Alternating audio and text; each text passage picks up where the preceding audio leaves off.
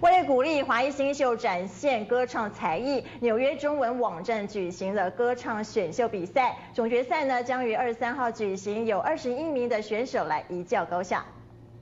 我们从一百个选手之中选出二十一位选手进入这个总决赛。